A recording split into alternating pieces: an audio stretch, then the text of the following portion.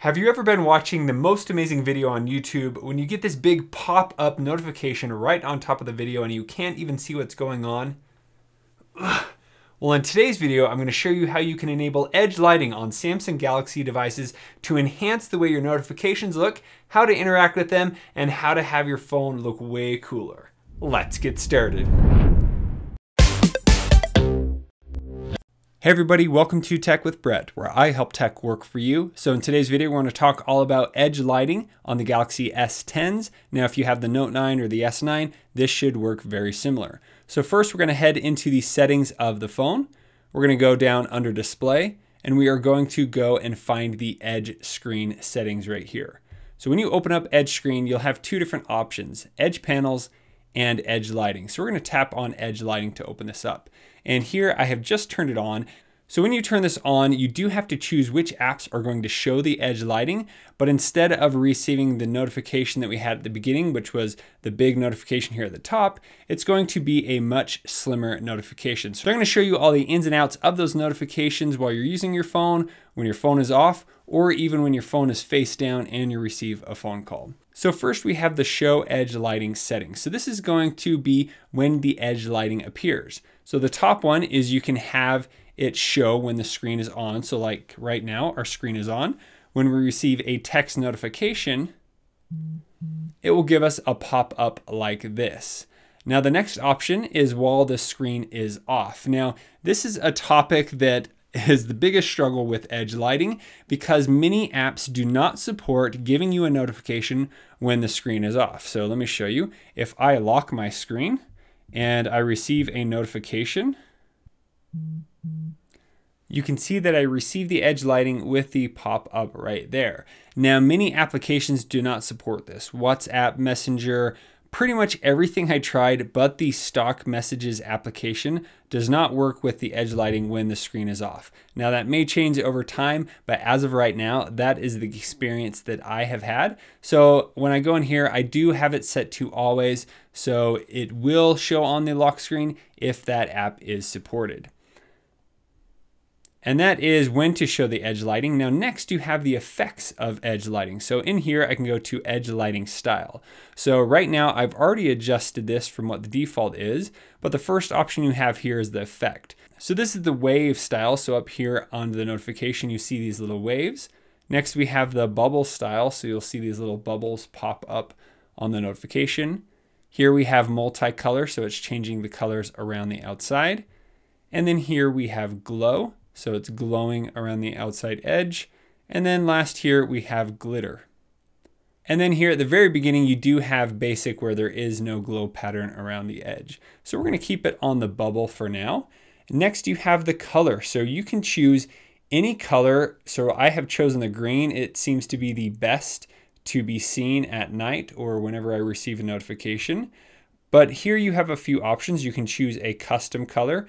So I could actually choose whatever color I want for each message application. So these are the three apps that I have right now set up and they have been set specific colors. So here on the Galaxy S10, you do have a new feature that will change the notification based on what text message you receive.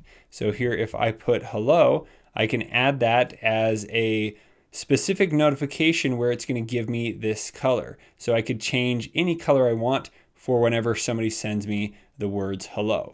So that is how you can change the custom colors on all of the apps. And up here you can manage the apps that are getting notifications and we'll get more into that in a second. So then you also have the option to choose the basic color, but I really do prefer this nice green right here. Next, you have the option to choose transparency. So transparency is how much that edge effect is going to show up. So I like to keep mine on the low transparency so you can see the edge effect as much as possible. Now you do have the option to change the width. So narrow is a very small border, but if you go to wide, you see the edge lighting effect much better. And now a brand new option with the One UI update is duration. So now you can actually choose how long that notification pops up. So here's a short pop-up. And then here we go to the long.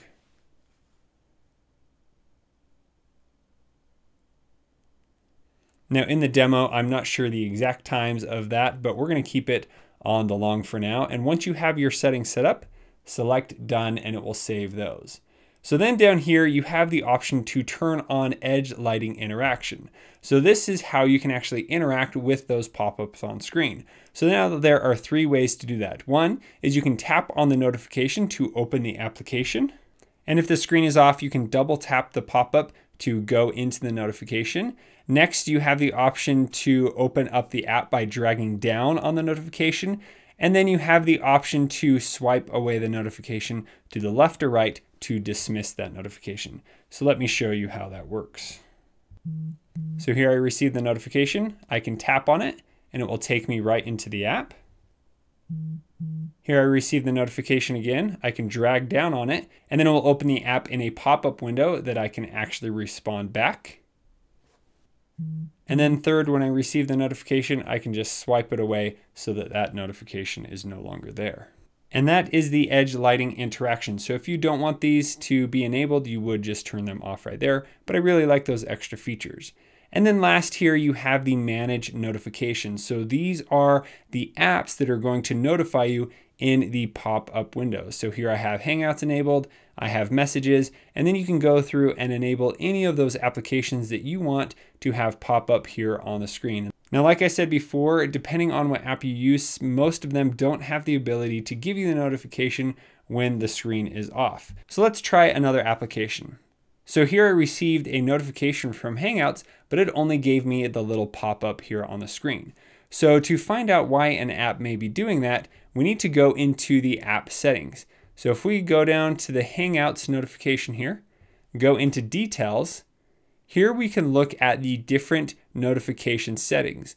So right here under messages, if I tap on messages, we can see the notification style is set to sound and pop-up. So everything is set properly where it should have given us the edge lighting, but for whatever reason, it is not supported. So if an app isn't working, there really is no way to fix it unless you go into the notification style, turn on sound and pop-up, but other than that, you're out of luck. And it does mention right here to make sure notifications are allowed in the app settings. Some notifications may not be compatible with Edge lighting. Now that we've gone through all of the settings here, let me show you how you can get a few more effects in Edge lighting. So if we go into the Samsung Galaxy store